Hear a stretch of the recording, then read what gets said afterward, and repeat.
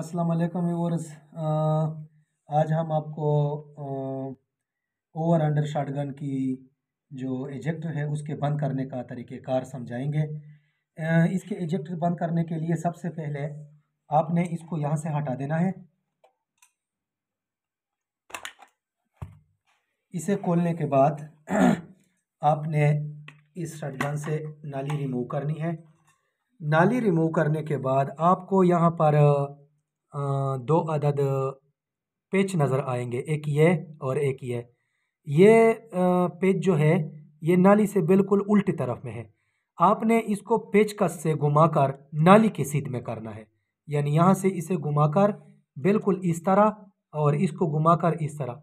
इस तरह इसके एजेक्टर जो है, वो बंद हो जाएँगे। अगर आपने दोबारा इसके एजेक्टर को खोलना है तो फिर से पेचकस की मदद से आपने बिल्कुल इसी तरह लेके आना है।